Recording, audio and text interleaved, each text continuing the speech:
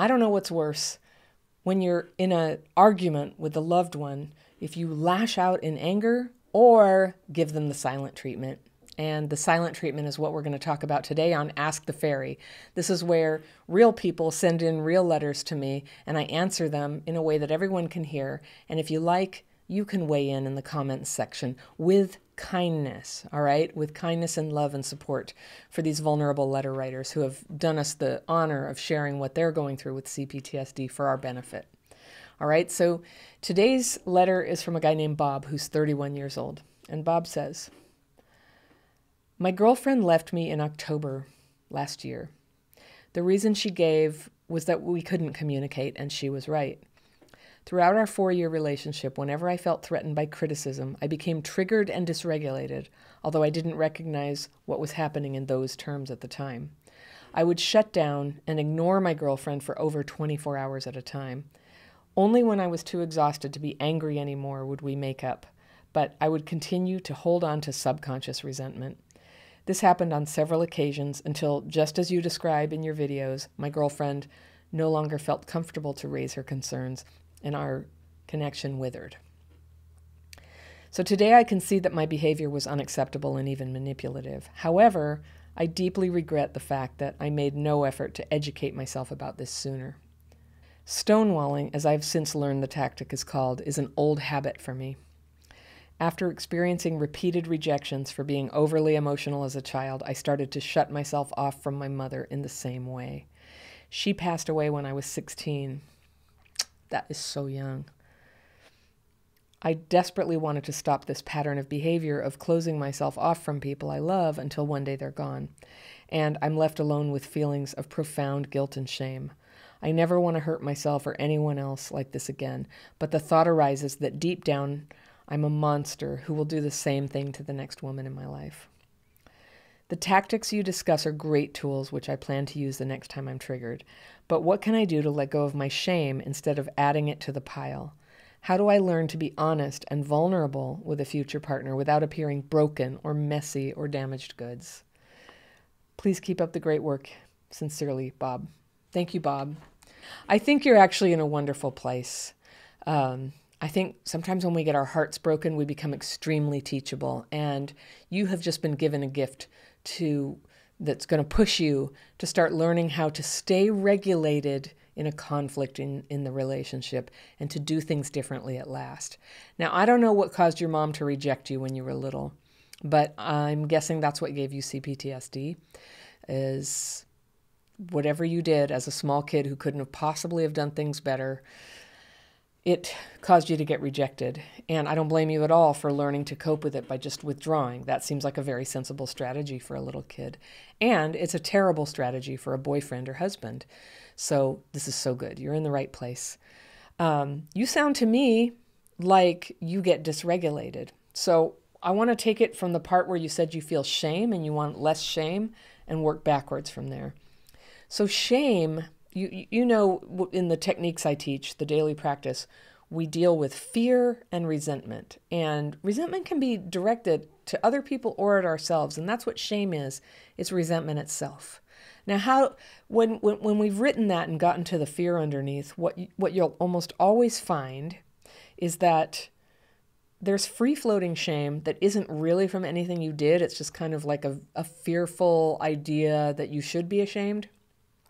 And then there's earned shame. And that is from something you did that you feel bad about. And the earned shame sort of sets the other shame on fire and it feels like this giant, you know, explosion of shame. But actually, it's just a couple things you did. And when you work on those, when you clear them up, you'll find that all this stuff just sort of evaporates and it's not really a thing anymore. And that's how to reduce your overall shame. So, that's how you can deal with what you're feeling about this right now. Like oh i screwed up and i should have done better. And you know what? I mean everybody says this but i'm going to tell it to you again. You couldn't have done better. You had to get your heart broken for you to take seriously that there was a better way than just going silent. And honestly i wouldn't be surprised if if you know going going silent it's a coping mechanism. You were probably trying to spare both of you from something worse like a big explosion um, hoping the silent treatment was somehow more innocent. And the weird thing is, the silent treatment is just as aggressive as yelling. It actually is. It really hurts people. Um, for people, for other people who have CPTSD, it can it can be crazy making when somebody won't talk to you. A couple, yes, people couples need to talk to each other about what's bothering them. That is how the connection stays alive. So if you can't talk about it because one person's going to flip out, you know, or go silent, this the other person becomes afraid to say how they really feel about things. And yes the connection withers as you said.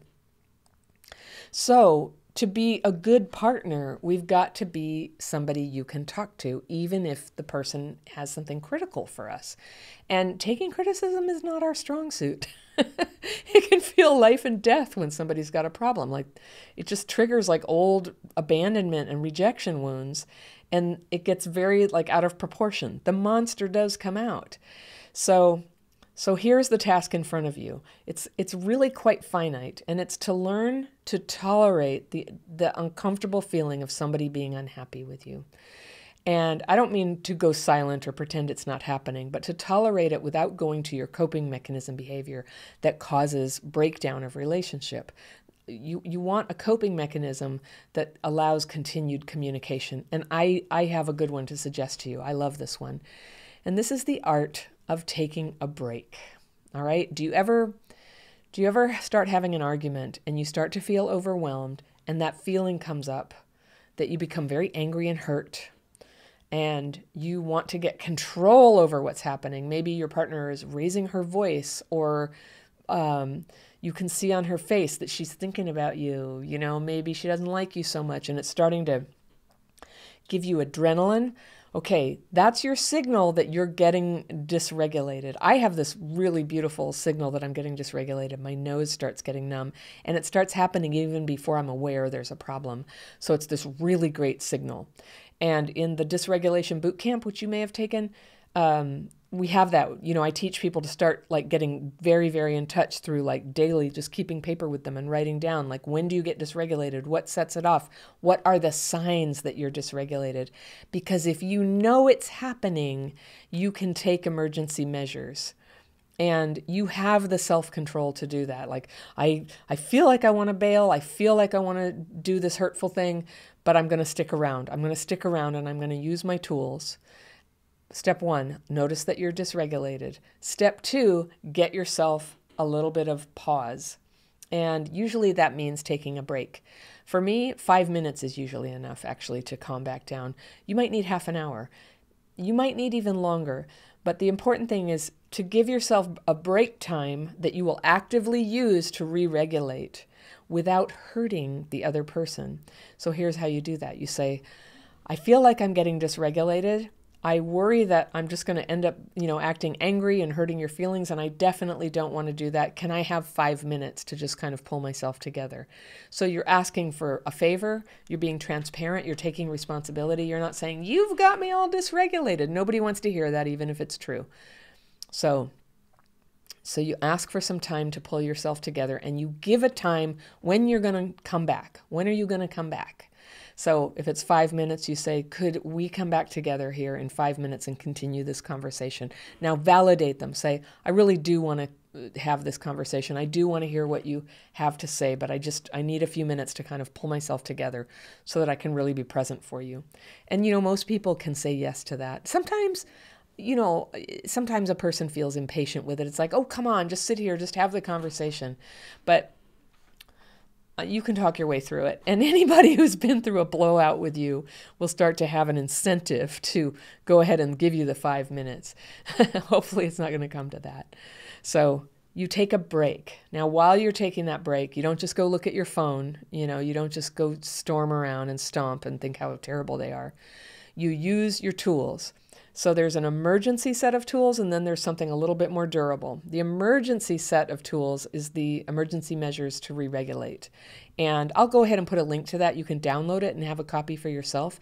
But it's stuff like washing your hands, um, squeezing yourself into a corner so your nervous system can feel a hug, uh, stomping your feet and saying to yourself, left, right, left, right, sitting in a chair and feeling the weight of your body you're just doing emergency measures to bring yourself back from a totally like a nervous system going amuck back into feeling yourself. And it's a, it's pretty effective too. Then um, if you have more that's if you have like one minute you can do those things if you have five minutes you can actually get some paper and a pen and you can start to write your fears and resentments probably it's going to be resentment i am resentful at name of partner here because i have fear they're saying da da da da da and you start getting that on paper and you don't even have to make it legible and you're not going to read it to them.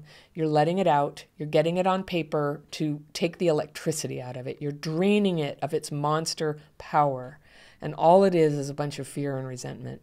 Now it might be important and it might be pointing to, you know what, this person's no good, you don't want to be with them. That's possible. That's a possible outcome. I'm not saying that you just like discard all your impressions of everything, but you take all of it, all the fear and resentment, and get it on paper and then either ask for it to be removed. I, I described the technique in the link. You should take the course. Don't, don't let me give you this shoddy, like quick explanation. Take the course, you can learn it and try it in 40 minutes. That way, you're not acting crazy. And I don't mean you're crazy, but have you ever talked to somebody who's just completely like flipped out about something and they're absolutely sure that what you meant by what you said is that they're awful and you're trying to tell them, but they can't hear you?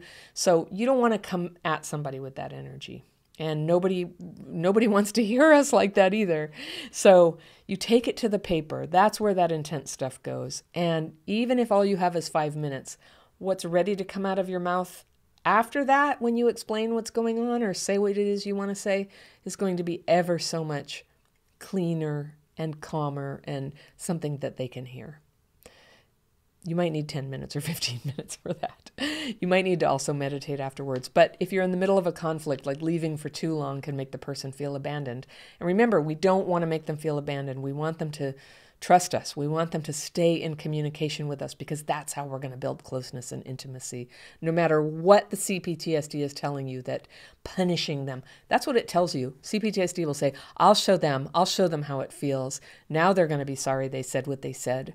I'm not going to talk to them. I, I've been there. I know that feeling.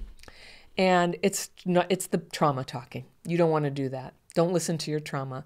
Don't ever punish people. Don't do it. Just try to stay straightforward in communicating where you are, doing the least harm possible with your words. So that's it. You need an actual proper break sometimes. And I think you'll find that if you can take a break and re regulate, the need for silence and punishing is going to go way down. So that need for a break is nervous system. That's not you being a bad person. Punishing people, that's that's what that's how we're bad people. We don't but our worst behavior comes out when we're dysregulated. So I think you'll find when you are re-regulated, when you've mastered re-regulation, your worst traits are going to just calm way down. You're rarely going to see them again when you've mastered re-regulation. So I hope that helps. This is I'm telling you, this is relationship gold. It makes all the difference. Give it a try and come back and tell me how it went. I want to hear about it. Now, if anybody listening has something that you'd like me to answer on Ask the Fairy, send me an email.